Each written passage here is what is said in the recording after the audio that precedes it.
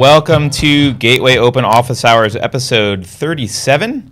I'm your host, Carter Laren, and I'm here with Brian Holmes from First Ascent Associates. Welcome. Hey, thanks for having me. Thanks for coming. Um, yeah, I guess we, you know, Ben's not here this week, so I apologize. You have to just deal with me, but uh, you know, How we'll get by. we'll we'll get by. So we, we usually do uh, we do a few news items in the morning, uh, usually or at the beginning of the show. Um, Sacramento County this week banned uh, commercial activities or voted to ban commercial activities uh, for cannabis. Um, I don't. Do we have any other information? It was a three to one vote, Luke. Is that right? And then there's going to be another vote next week. Is that yeah, it's correct? a three to one vote, and they're going to vote again in two weeks' time. And the one dissenting vote was by the supervisor himself.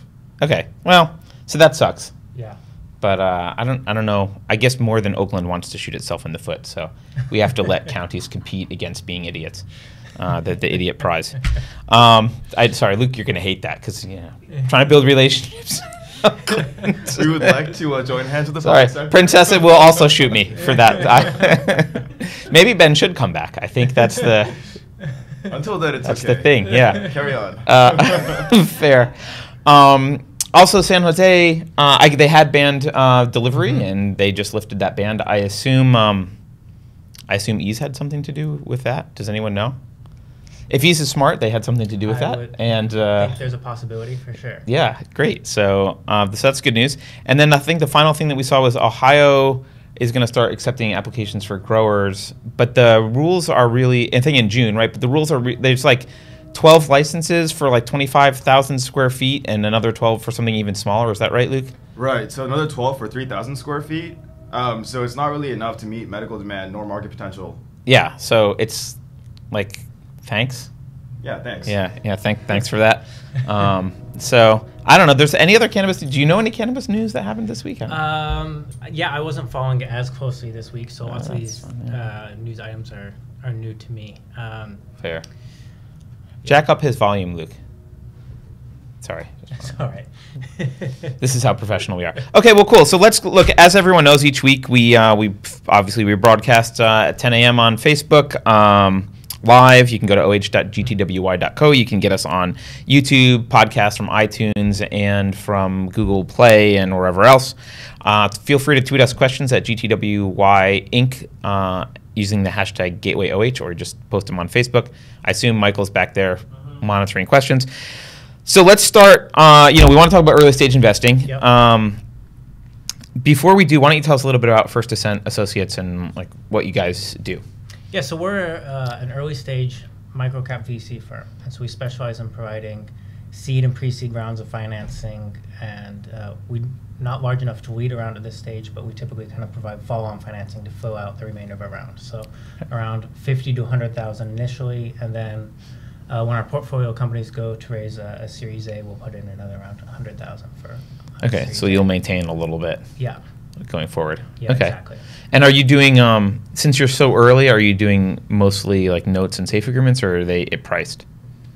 Uh, it's it's a mix, and um, you know, since we're not leading the round, we're not really dictating terms. Um, so we're pretty flexible on, on terms. We've done you know safe notes and you know KISS documents and things like that become pretty prevalent and common in the industry right now. Yeah. Um, And you're not just cannabis, by the way. I want to clarify. no, uh, Right. you know, we have done some cannabis investing, and it's a space we remain very active in still, but it's only about uh, a tenth of what we've done so far. Okay. Yeah, and the rest is a pretty broad portfolio of um, range of early stage companies from consumer to, you know, more like fintech, SaaS, big data. Yeah, I was looking at your portfolio earlier, and it's pretty broad. Yes. Yeah. So, so given that it's pretty broad, um, what do you look for? And I think a lot of people uh, don't even know what early stage investors are looking for at all. Um, and when I say a lot of people, I mean founders who need the money, but also later stage investors actually often are like, you know, if you don't have five year historical financials, what do you do? Um, so, well, and what, what I think is funny about that is, uh, you know, when early stage companies have those financial projections five years out, so there's no there's no way it's you Yeah, no, it's all bullshit. Yeah, yeah, yeah, yeah. I was I described uh, the other day. I spoke to a bunch of angel investors, and I said, "This is the this is what won't happen." right. That's like that's all you know about Right. those projections is Right. that they won't happen. Yeah, all we want to know is, you know, 12 to 18 months out, what's it going to look like when kind of our runway that we're, we're providing Is goes, goes away and right. uh, what's your position then going to be like and are you going to be able to raise more capital and keep the company Sure. going yeah So that's an interesting point that I want to drill in on a little bit Uh-huh. because um, I think a lot of uh, I'll try. Let me try not to uh, bias the, the answer. a lot of founders, um, when they talk about why they're raising, they talk about how they're going to spend the money. Like I'm going to spend this on marketing and this on rent or whatever, and this on software engineer. Right. Um, what do you What do you want to hear from them when they're telling you that? Yeah, I think it depends on each company for sure. There's not necessarily a blanket answer. Um, we don't need to dive that deep into it, to be honest. Um, and I think you know it's going to change with time. Uh, These Okay. things are so early on. You know, I'm not going to have you know stick to them saying, look, you are going to say you're going to use your money on X, Y, and Z. It, Right. You know, it, it changes. Um, again, all we want to see is that they're moving in the right direction, right? That they're growing month over month, or if they're if they're not, that they're acting on that really quickly, and they're not just kind of trying to do something that doesn't work. Right. Yeah, you're looking for the agile founders that are Yeah, exactly. Yeah. So I, the reason I kind of was was asking that question, diving a little bit deeper, is um, I noticed, you know, you mentioned what happens when the runway runs out, right? And there's Right. there's like two things that can theoretically, right? One is they could be profitable and not necessarily need more money. hmm Um, they still might want to raise, but Right. right, or you know, bigger VCs could come in and say like, let's let's do a round, right? They Right. could go raise other capital. Right. Um, do you think about you know what are the things that you think the kind of next stage needs in order to say yes, and is that something that you kind of take into account? Do you look at the company and say, oh well, what are what are the people who are going to lead? Yeah, absolutely. wanting. That's actually um, something we spend a lot of time analyzing. Is, Okay. uh, you know, what the market kind of looks for for a Series A company, for a Series B company, things like that, and uh, do we think they're going to be able to hit those milestones? For example, um, if it's a revenue generating company, Mhm. uh, you know, often Series A firms will look for like a minimum of uh, you know one million dollars of annual revenue run rate, and so if we look for them to be uh, minimum like a tenth of that, and to see that they're growing Okay. fast enough to be able to hit that in again the next 18 months or whatever you know this kind of round of financing is going to be able to allow them to operate for. Right. Do you do you ever do like pre-revenue investing, or are you always looking at companies that have a little? We have done some pre-revenue, um, and again, it all comes down to you know there's a lot of things that go into early stage. Often it can be you know the founding team we have experience with and have had success with and have a lot of faith in the team, um, or that you know it's an early stage market potential, but we think that it could be very disruptive and very exciting, and because of that. It's more of a, a long-term play. We're not looking for that early stage revenue. It just it depends on the type of company. Okay. Um, but lots of things we look for are more kind of marketplace or consumer, which I think need to have some form of early revenue. Okay. So you mentioned that you're kind of looking at the team and probably I think you you mentioned you like founders who are, you've like had success with in the past um, as a I think that's kind of the gold bar like that's gold standard. It's like if you if they've had success with you in the past, it's that's a pretty good sign. For sure, when you find Uh, a founder that uh, you know you've had success with in the past and you have a relationship, you want to you know continue to stay involved with that person for. What if they don't know you and haven't been in your portfolio previously? What uh, what are some things you're looking for in the founding team? Well, being an early stage uh, and young fund, you know, we're only two years old. The vast majority of our portfolio companies we didn't know previous to investing in them, and then um, you know, there's just certain things that you have to look for. You have to look for, and it can be hard to define. You know, leadership. Are they going to be able to uh, recruit the right people? Um, do they have uh, a strong vision? Um, are they analytical? Can they, you know, really focus on the day-to-day operations of, you know, growing? Because that's kind of what it takes is, you know, minute growth every single day and looking at that you're Yeah. long-term trending in the right direction. It's not something that just happens overnight. It's it is kind of a a battle. Um, so we look for someone that's very analytical, um, and also you know has a, a big vision that you know they they kind of see where the market's going and where they can see that they can, you know, kind of disrupt uh, an existing industry. So I kind of want to unpack that because I feel like there's actually a lot in those. There's a lot. things that yeah, you mentioned, we could right? talk so for the next hour about what I just yeah. said. so um, the first thing you mentioned was kind of leadership. yeah. Um, so how do you? What are some signs of that they they could potentially be a good leader, and what are some red flags? Like, do you have any? Like, oh, this is a good checkbox, and or this is a bad checkbox. It's an interesting topic because I don't think it's it's cut and dry. I think for sure you want someone that uh, you can see they have a good relationship with their co-founders and that. They So you're assuming there's co-founders at this point. well, or at least other team members. Right? Okay. Well, you know, sometimes we invest in companies and it's it's a team of three people. They whether they're technically co-founders or not. You know, when you're that small of a company, everyone kind of is a, a an important role. You can't have Right. a bad apple at that point. Um, so you have to really be able to you know see that they're really motivating the team and that everyone's um, really passionate and driven for kind of the the vision and the early stage product that they're working on. So, I, this is, uh, a, I'm asking this intentionally so founders hear your answer. Yeah. What does like a sole founder, only team member company look like to you when it's like one dude?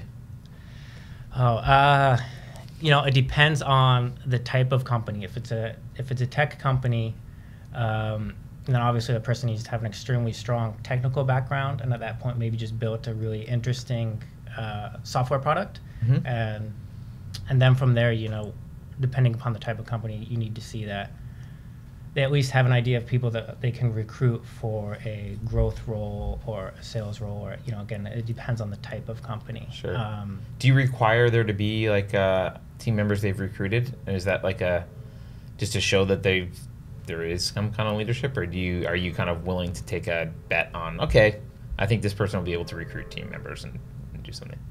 Um, again, we need to. There needs to be proof points, right? And again, that's in all stages. That's what investors look for: different proof points for their concerns. So, um, if they haven't recruited, but they might have a strong advisory board or things like that that show that they've been able to bring uh, really impressive people uh, their along for their journey. journey. Yeah. exactly. Then, then that could kind of alleviate that concern. Okay, cool. So you also mentioned vision. Yes. Um, I think something that um, Ben and I have pounded into people's heads uh, for the past several years is kind of like, which is I think a euphemism for vision, which is like your why. Like, why are you doing this? Right. What's your big thing that's Right. going to get you out of bed in the morning? Um, what do you look for in terms of vision, and do you um, what kind of mistakes do you see? You know, what, what what's a founder with bad vision look like? What is or, or no vision? What does that look like to you? um, yeah, it's it's hard to call out. I don't want to, you know, uh, talk negatively against certain types of companies, but um, You're so nice. That's what I'm here for, Brian. Go ahead. That's fine. uh, yeah, I think you really do have to ask exactly to your point. Why are you building something? Just because you you can build something doesn't mean that there's a true need in the marketplace. Like often, uh, there's been companies that have been trying to disrupt payments, and I think it's an interesting case of, you know, for the most part, people don't need things like mobile payments, or you know, the consumers are perfectly happy using a credit card and pulling it out of their wallet. And so Yeah. there's been so many companies that have tried to, you know, disrupt something like that, and I think it's a misunderstanding of whether or not there's an actual problem there. Whether you can build Yes. a, a cool, you know, uh, tech-centered solution for something doesn't mean that there's an actual problem. yeah, I feel like that should be plastered on a, on a billboard on 101 and on a 880. Like, yeah, great products, dude. No one actually wants it. Yeah. Um, yeah, Yeah. there there does seem to be a disconnect there. Um, so you're looking for for people who've like basically done customer development, understand that like, look, here are the customers. Here's the big problem. We know they want the big problem, uh, as opposed to kind of the God system approach where it's like the world is inefficient over here and I'll Right. fix it, which is like that's nice, but no one cares that's actually in that part of the world. Yeah, and I think that's where uh, looking at early stage retention can be really interesting because you Oh. can get people excited about something new and cool and get a bunch of people to sign up. But you know, I think the real truth is if people are actually coming back to it and retaining it and using it month over month. Can you expound on that a little bit? Because I think a lot of people like they love those vanity metrics of like I have, I have a million Twitter followers, or I've, or eight eight hundred thousand people have signed up for my product. Or, Right. You know what? Can you talk about the, what metrics kind of matter to you in a in a typical? I know it's different for every company, but like a typical, a typical software product or something. Yeah, uh, if it's if it's paying customers, you want to have a very uh, low churn rate. I would say of you know less than twenty percent. Okay. Um, if it's you know social, uh, you know apps, I think you want to have again pretty strong retention, people coming back. Um, you know, you don't want kind of the leaky bucket syndrome where you're putting all this money into growth and then you know you're losing a, a large percentage of that from people not coming back month over month. Would you rather see a uh, like smaller numbers overall, like smaller maybe? Uh, let's just use monthly active uniques. Not that it's a great metric, Right. but like, would you would you rather see like small MAU but low churn, or like huge MAU but like higher churn? I would lean more towards the first one, uh, Okay. especially if it's organic growth. So if, if the small MAUs uh, happen through word of mouth or through some sort of sticky uh, social aspect of the product itself, Okay. um, that's more attractive to me than someone who's been able to uh, deploy capital or put a lot of some you know money towards marketing and have a high user number, but then the you know they People have don't actually like what they're exactly. building. yeah, fair.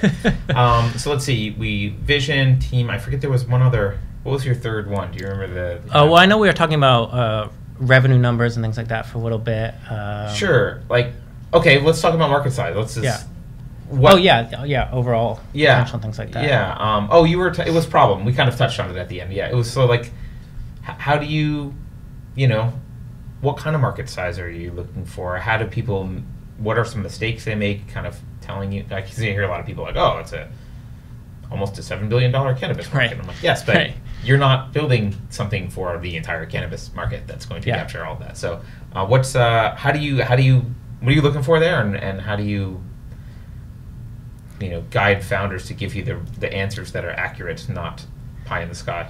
Yeah, that's a real pet peeve of mine. I feel like everyone in their deck needs to somehow arrive to a conclusion that they were going after a billion dollar market, and that's Yeah. really they've been the told that I think Yeah. by a lot of people. Yeah, and I think that's kind of it's a mistake in the marketplace right now because it's completely unrealistic. So it's it's creating a lot of presentations that I think most investors just gloss over and don't even pay attention to. Right. Um, so what we look for are more kind of realistic market goals, uh, and it can be again two things. It can be uh, high growth, kind of new uh, area, uh, emerging technologies, or it can be kind of an old market that already has some established players with large market share, but are uh, you know not tech focused, and therefore you know there's room to be disrupted there and, and I get smell market cannabis share. on your breath on, on that one. what have you seen? How is cannabis special there? Is does it fit into that last category or? Yeah, I, I think so, and especially it'll continue to be that way uh, going forward. You know, I, I know you've had a number of companies in uh, the growth space, building hardware products specifically for growers, uh, as well as you know more um, software platforms to kind of uh, more create more commodities trading and you know the sales between. Different dispensaries and things like that. Yeah. Yeah, yeah. It's uh, I, do you view cannabis as um, you know, you meant I think you mentioned earlier about kind of moving. That's what the third one was like, moving the ball forward every day. I don't know if that Yeah. was the analogy you used, but like that little Yes. little success Yeah. every day.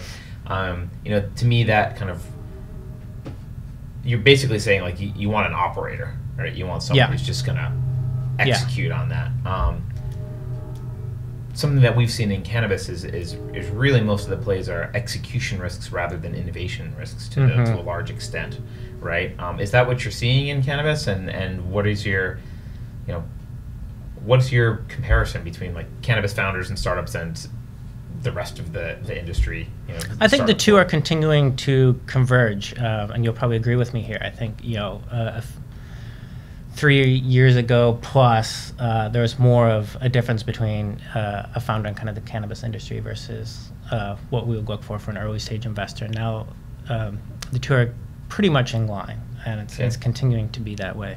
Um, I'm trying to remember the second part of your question. Well, I, I- are are there um, do you see kind of problems that are unique to cannabis? I mean, uh, are you seeing? I know that the standards are this kind of converging. yeah.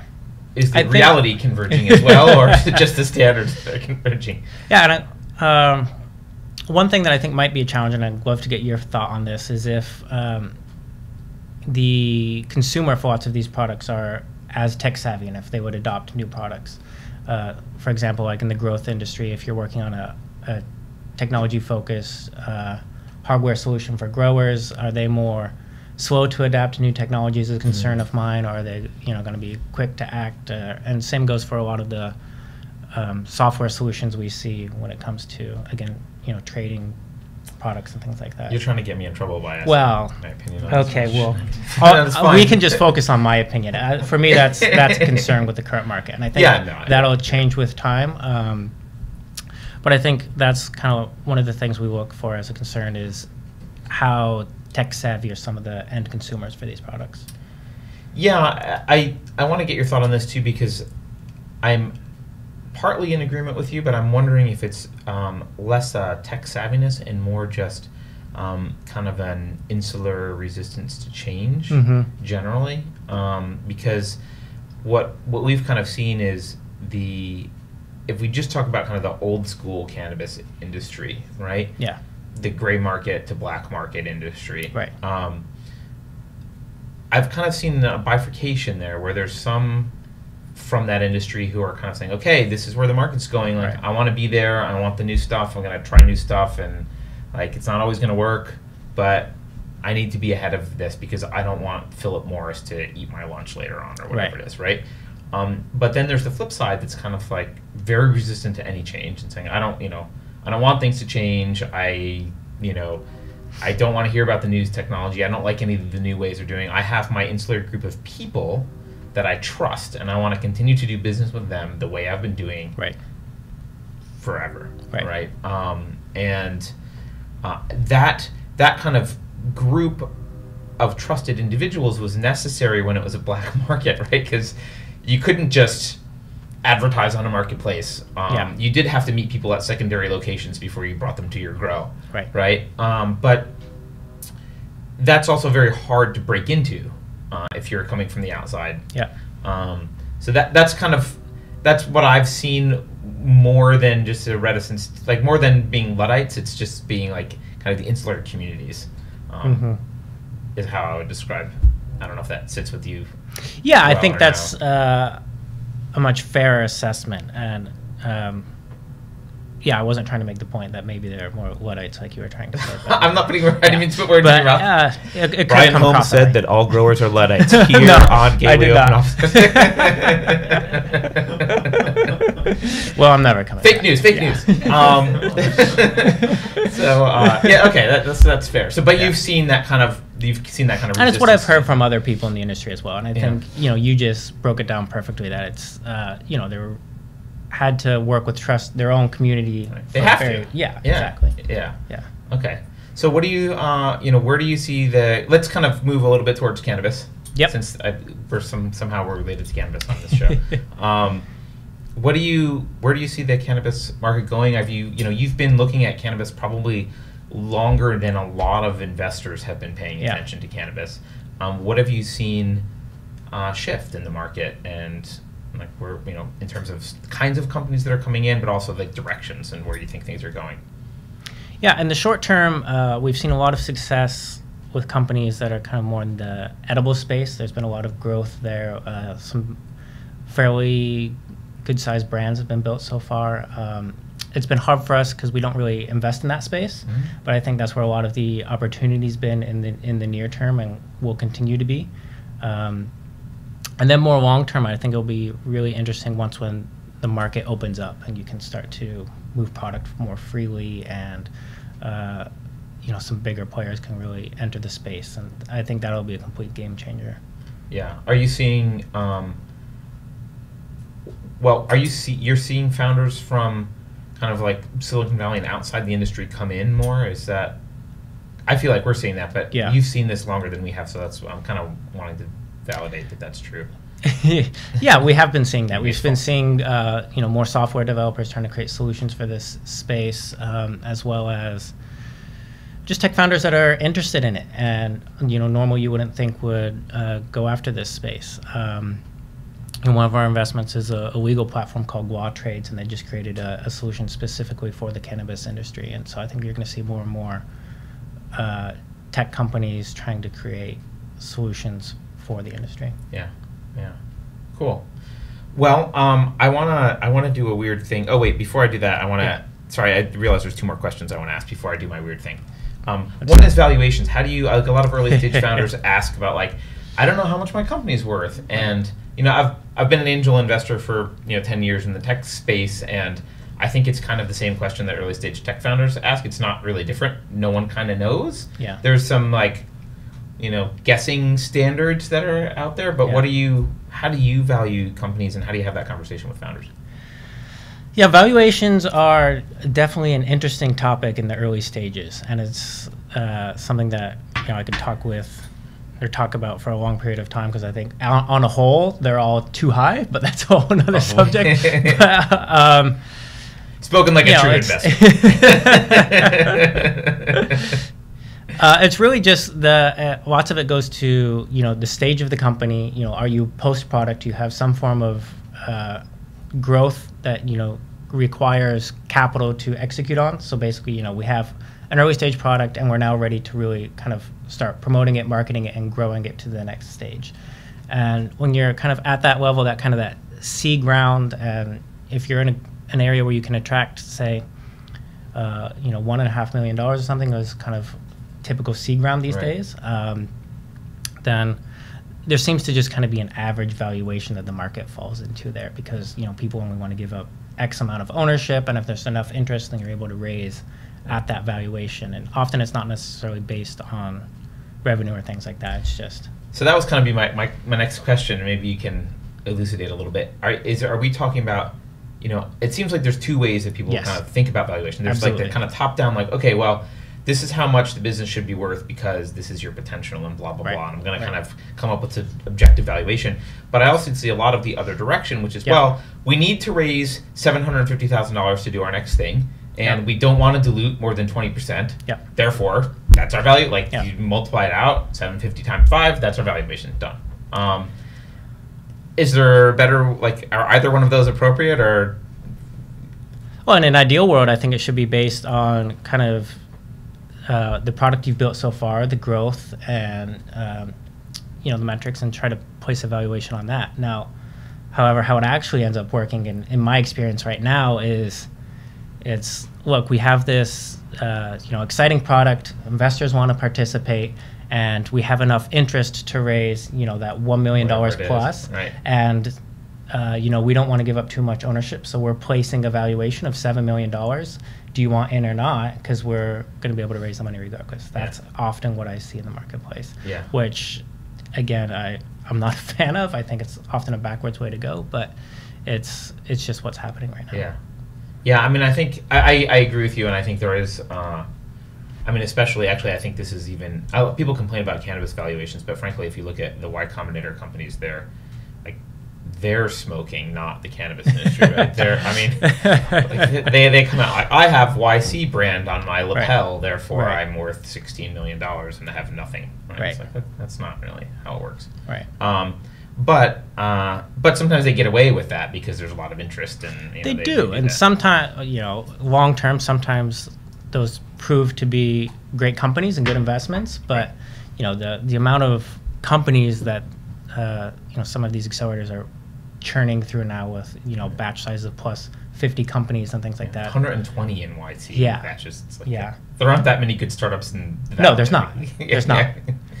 Um, We so can yeah. have a whole. We can have a YC bashing episode if you want to come back sometime just to bash YC. But uh, um, okay, so so that's fair. So so for valuations, you know, you're not happy with that way. Most people, aren't, most investors aren't.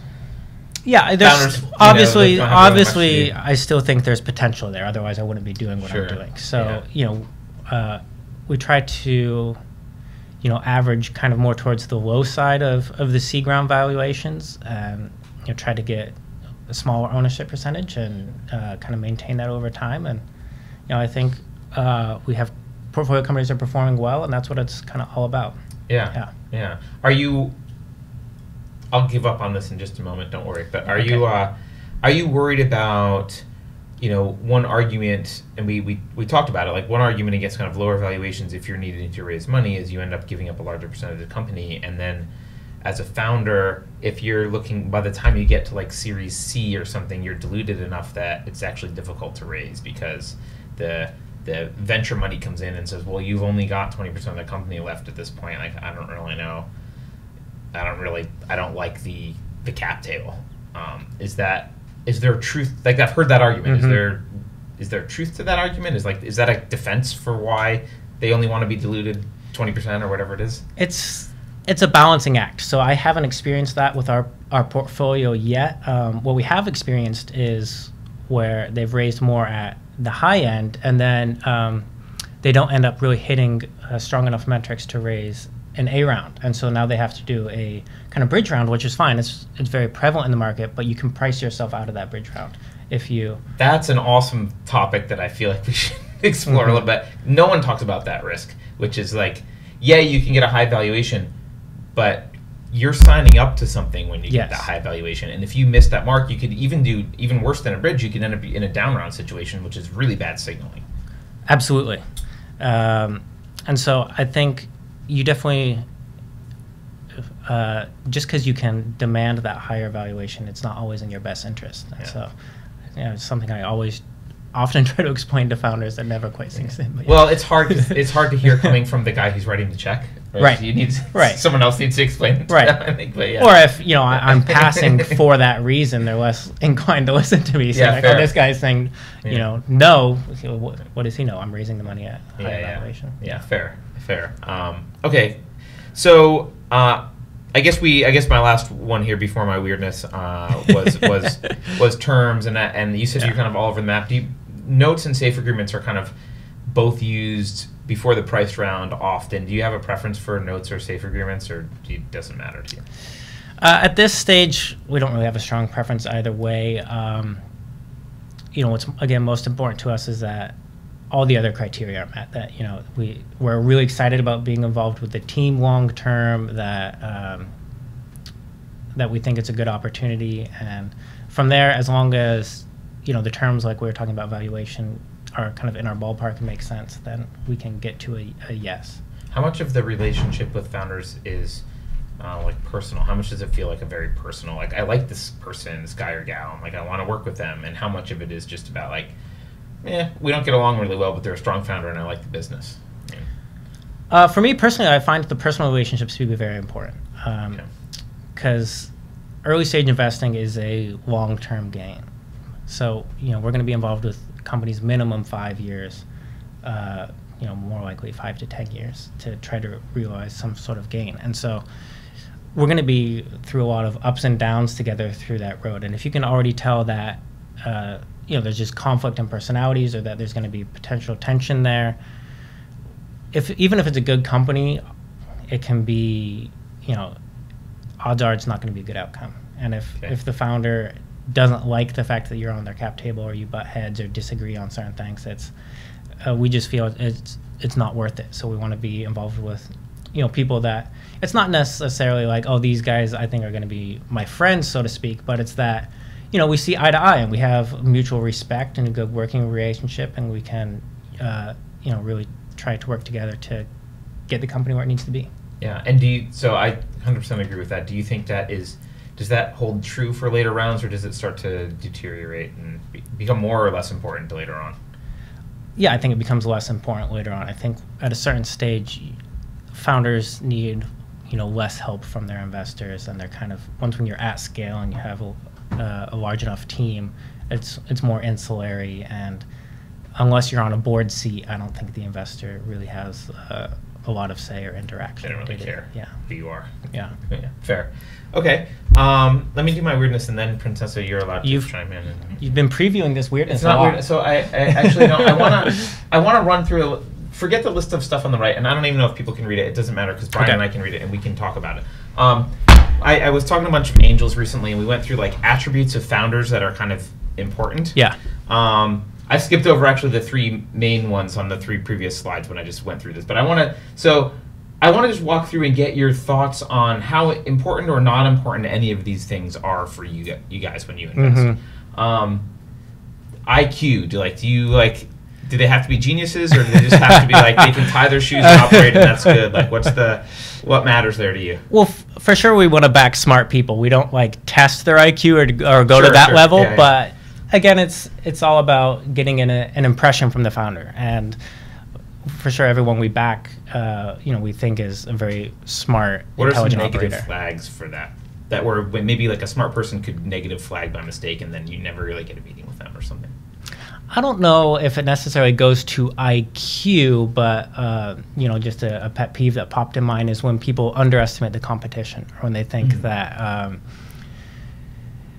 that you know no one's doing what they're doing, or that they don't have any direct competition. And I I think it's easy. yeah, that it's too easy, or to me, it shows that they just have a lack of true understanding of the market that they're going after. So it's interesting that you said that you're not sure if that correlates to IQ.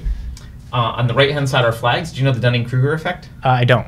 It's um, it's an effect where um, lower IQ people tend to think things that are uh, they don't understand, like complex things that they don't understand, are easy. Okay. Right? That's exactly what that is. Basically, it's like, oh, brain surgery, like that. I could do that. That Yeah. sounds super easy. It's like I just haven't been to med school, but other than that, it's easy. Um, so uh, great. Operator, we kind of talked about the importance of being an operator. Yeah. So maybe we can skip that. Domain expertise. How much do you like to see founders that have like done something similar already, like in that field? I think it depends on the field and how um, how intensive the specific industry they're going after is. Uh, you know, f- so for example, if well, let's talk about the cannabis industry. If you're building a software product, as long as you understand, you know, kind of the mechanics and how the industry operates right now, I think you don't have to have a lot of past history in in the industry to if if you have you know the expertise in maybe building software or things Sure, like that. sure. Um, but certainly, if you're more working on a, a hardware device for the industry, or if you're working on, you know, more of a, a hardware growing device, then for sure you need to have very strong expertise in that area. Fair. Um, honesty is that? A, is- I mean, I kind of feel like that's a, a layup. Yeah, I think. Do you like when people lie to you? No, I don't. Uh, and unsurprisingly, when they're going after money, it happens. Uh, yeah, yeah, fair, fair. Um, curiosity. How much is it? How important is that as like a personality trait that you look at for founding teams? I think it's it's especially at the early stages. It's a good trait. Uh, you know, you have to always try to be understanding where the future could lie. But uh, you know, I would say the flip side of that is you also want someone that's focused. So you don't want someone to say like, Mm, we can excellent. go after this, but oh, we're also going to try to you know maybe launch this other product and this Right. other product. it's like, Yeah. well, you just need to focus on one thing and grow that, and then Yeah. from there you can kind of go into other market segments. we uh when I was like I'm allowed this is my show I can just go into like weird tangents right um when I was uh when I was an engineer at uh a defense contractor like Yeah. literally 20 years ago um I uh we had this phrase that we would call uh, and like engineers always wanted to build an egg laying milk pig Yeah. which is like this fantastical animal which did everything uh, instead of just like building the one thing Yeah. that that you really need to do. So focus, uh, totally get and, and totally agree with. Um, leadership we actually talked about already. Mm-hmm. Um, coaching this was kind of a code word for like communication skills. Um, how important are communication skills to you when you have an early stage founder? Yeah, I think it's uh, sometimes in founders there can be kind of conflicting traits, and I think it can be somewhat interesting. You want someone who's very driven and very passionate, and you know, but at the same time, you don't want someone overly egotistical, which is something I think you see a, a Mhm. lot in kind of um, entrepreneurs and founders that can sometimes be uh, you know negative, where it then leads to them having conflict early on with their early team members and things like that. Yep, I think that makes sense. Uh, work ethic, I assume, matters to you, but maybe not. Yeah, absolutely. You have to be putting in a, a ton of time. Um, you know, if you're looking for an easy job that pays well, don't become a founder. you know, Yeah. you're gonna have to be putting in a, a ton of hours, and you know, it's it's not going to be the most profitable uh, in the early stages for sure. So you need to be. It has to be something that is extremely uh, important to you, and you have to be very passionate about, and something that you derive value from beyond just the potential financial benefit. I think. Um, but you know, that said, I do think that work-life balance is important, and you can't burn out either. So you know, sometimes founders are going to go on long-term vacations, and I totally understand that you need to recharge. Yeah. We had a founder recently that I was trying to convince to go on vacation because I was was like afraid he was going to burn himself out, and uh, I think he's much to my chagrin and his co-founder's chagrin. He successfully argued that now was not a good time to take vacation. Um,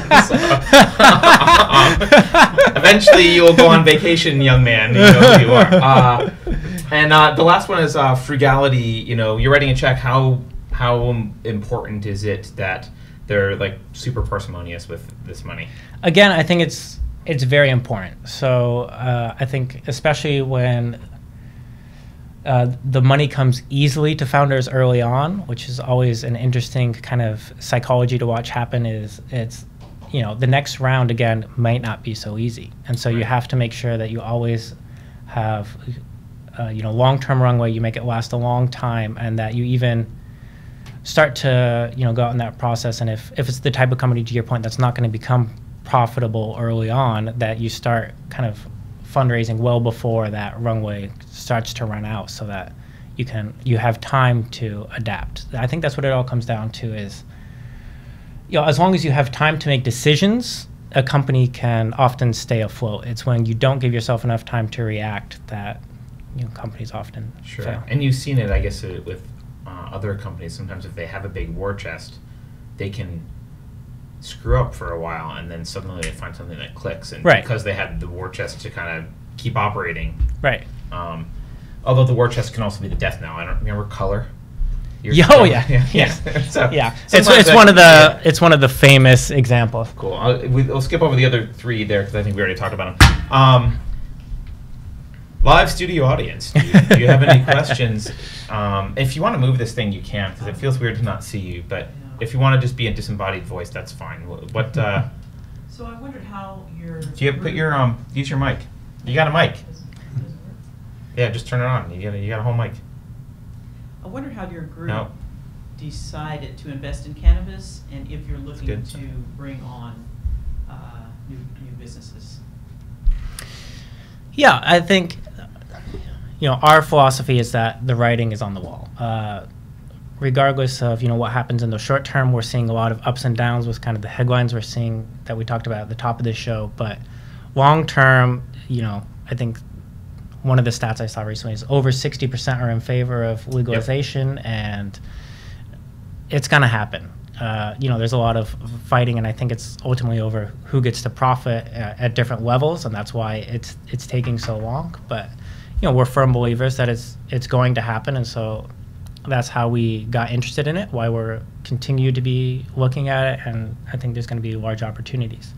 Um, as far as bringing on new partners to focus specific on this industry, uh, to be upfront, one of the things we're really looking for is uh, some big exits to happen in this space, which have yet to happen. And one of the things we're waiting to see are, you know, who's uh, a potential acquirer for some of these companies, or are they going to go public, or what are these these exit opportunities going to look like? And that's one of the things we're looking at. And I think once when that becomes more clear, we might bring on someone to focus on this space and go after more aggressively. Can I follow up on liquidity for just a second? Yes. Because it's an issue that um, we've discussed with our LPs as well. We do some things to try and mitigate the liquidity risk. Yeah. Is there anything that you guys are doing to mitigate liquidity risk, or how do you how do you deal with that? I mean, because in cannabis you do have this problem where there's probably a lot of larger companies that are waiting in the wings for federal legalization before Yeah. they actually do anything. As far as the fund as a whole, uh, again, it's it's traditional early stage venture. So we're looking for either acquisitions or, you know, in the rare instance, uh, you know, for them to go public. Um, but I think acquisition is far more likely for our portfolio at this time. Yeah. Um, as far as cannabis goes, uh, that's still what we're trying to figure out. Yeah. Yeah, I don't have an answer to that right now. Yeah, I mean, I'm not sure that there's a great answer to it. Yeah. I just want to know if you had a magic uh, bullet that I could steal. um, I'll let you know when I figure it out. Yeah, as soon as you figure that Yeah. out, let me know. Um, anything else, So Princessa do or do- Luke Do you anything? guys have any tips for entrepreneurs on how they should um, choose or select VCs? That's a great question. Uh, I will definitely look for VCs that have an interest in the industry you're in. So if you've seen, uh, you know, go through, look through portfolios and not necessarily competitors, because then that will lead to a conflict. But you know, if they invest a lot in cannabis or uh, fintech or whatever industry you're in, really try to focus on people who specialize in that industry and um, try to get a warm introduction to someone. Yeah. No, I, I would agree. The thing I'll add about especially cannabis, while this is true outside of cannabis as well, is uh, you know we talked about a personal relationship early on um, with especially I mean maybe less so in later rounds, but probably always with the lead at least. Um, you want to have uh, you want to have people that you like, like who's going to be sitting on your board. Is that guy a jerk? Because um, it doesn't matter what the rest of the firm is like. If you don't like the guy that's going to sit on your board, Yeah. that sucks. Yeah. Um, you want integrity. Um, there's a lot of firms, um, you know, unfortunately, especially in cannabis, who are not honest or don't have integrity. Um, and uh, yeah, and you want to look for VCs, I would say, that can help you. You know, Brian just talked about getting to that next stage. What happens when my money runs out? Right? Okay, yeah, he's looking at the super early stage, but you know, Series A investors think about the same thing. Series B investors Yeah. think about Series C investors are thinking like, what's going to excite Goldman Sachs, right? Mhm. So everyone's thinking about that kind of next stage, and so if you've got a firm that can help get you to the next stage because they have the intros or they have the ties, that's helpful as well. I think Luke has a question. Actually, yeah, one of the audience members, Michael Manning from Blue River Extracts, um, his question is how do you overcome investment bias against hardware uh, to get invested in, um, especially in the cannabis space? Oh, that's a. You want to take it? It's a great question. Do you want to do it or do you want to? Well, again, I think it goes back to what I was saying before. Uh, you know, the adage "hardware is hard" is true, but there's lots of people who focus on this space, and I think it's something that's becoming more and more. Uh, there's more and more investors interested in it. There's you know firms that focus specifically on hardware. So um, again, try to reach out to the those individuals. Yeah, I mean, I think um, there is a bias against hardware. Uh, it's not unjustified. Well, I I mean, it is to some extent, but to some extent, it's not. Right? You've got you've got people. So right now, you've got like manufacturers predominantly in China who understand manufacturing Right. really well. Right. Um, and they're not worried about the manufacturability of your thing because they can fix it and make sure that it's manufacturable. Yeah. But they don't. But they're worried about whether you can sell it. They don't understand the market, and so like they don't want to play venture too much. Then you've got people, uh, you know, basically in the states who maybe get the market, understand that this could potentially sell, but um, don't aren't really sure about the manufacturability.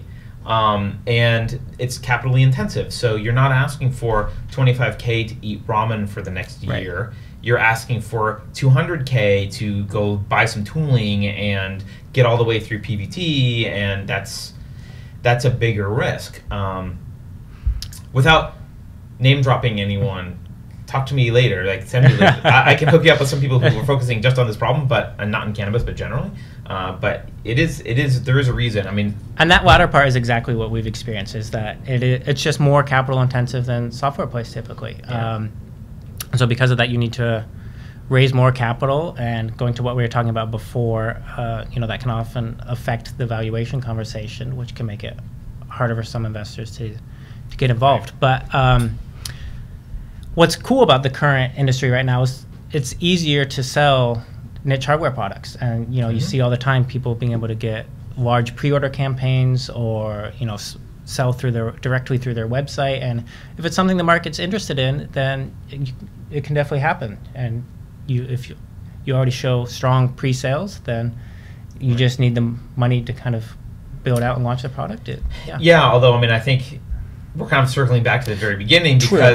I think on Indiegogo's numbers are something like ninety percent of the successful hardware campaigns never get built, right? Because the people who, if you're doing hardware, you need to understand hardware, right? And so just saying like, oh, I've got a design in SolidWorks and I, I made a video on Kickstarter or Indiegogo and like I've got a bunch of pre-orders.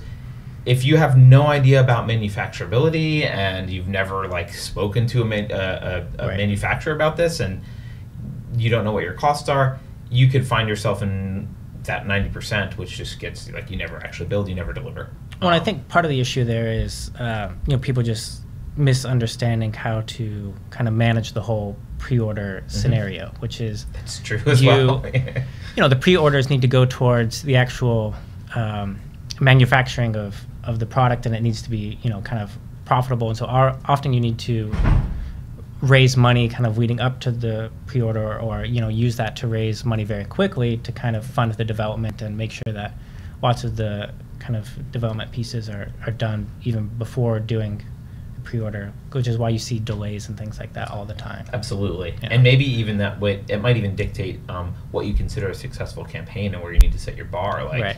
you know, actually, this is what I need to do to make sure that I've got enough cash to Yep. get myself through my first order. Yeah. Yeah.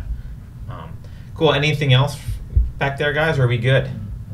All right. Well, uh, on that note, thank you for joining me. Hey, thanks. Um, how can people reach you? Uh, you your Twitter, what's it? Is it First Ascent VC? Is that your Twitter? Or you guys Uh, don't do Twitter much, or I don't know. We don't tweet that much. Um, I'm more active on my own personal account, which is just at uh, Brian Holmes SF. Okay. And uh, or you can reach me. Uh, my email is just Brian at First Ascent Associates. Awesome. Well, thank you everyone for joining. Uh, as a reminder, we broadcast every week from Gateway Works, which is the most badass building in all of Jack London Square. True. Uh, yeah, I can attest. See, um, and he does epic shit. So uh, I mean, maybe you can't even see that. Oh, well, that's okay. Now they know that you do epic shit. We'll stick it here. Um, anyway, uh, I think if you reach out on Gateway Works, if you use the uh, promotion code Gateway OH, uh, you get 100% or 100 100% $100 off of your first month. Michael's about to shoot me. $100 off of your first month. Um, as always, you can join us at uh, oh.gtwy.co every Friday morning at 10 a.m. You can download us on iTunes, uh, podcast on iTunes, and on what is it, Google Play, or on YouTube. I don't know. I guess that's. Uh, is there any other channel I'm missing, guys? Okay, great. Join us next week when Ben will here t- be here to take the reins and prevent this show from going further off the rails.